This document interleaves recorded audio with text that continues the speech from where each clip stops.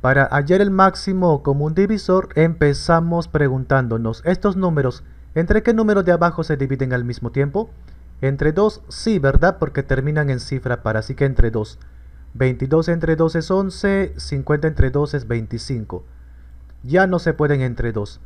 Tampoco se pueden entre 3. Es más, a ver, uno de ellos, por ejemplo 25, entre el único número de abajo que se puede dividir es entre este 5 nada más. Pero justo el otro no se puede entre ese mismo número. Significa que ya no hay nada más que probar. Ahí acaba todo. Así que la respuesta es lo que esté en ese lado, o sea 2. En otras palabras, no hay ningún número abajo que los divida a estos al mismo tiempo.